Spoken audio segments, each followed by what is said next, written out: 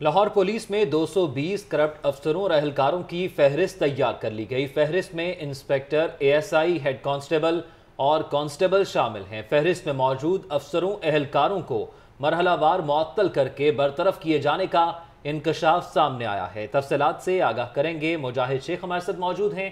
جی مجاہد شیخ۔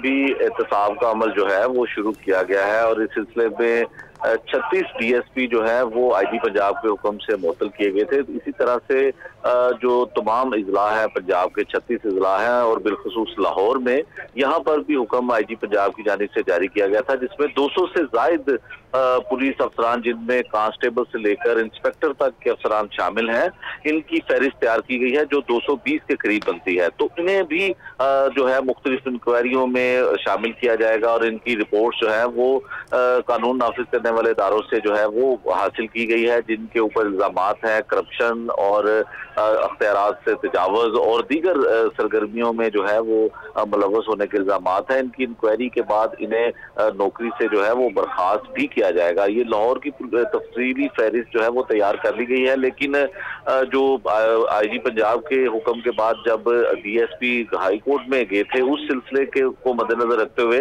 اس فیصلے پر ابھی عمل درامد نہیں ہوا ہے، لیکن اس پر عمل درامد بھی جلد کر لیا جائے گا جی۔ بہت شکریہ، آپ کا مجاہد شیخ تفصیلات سے آگاہ کرنے کے لیے۔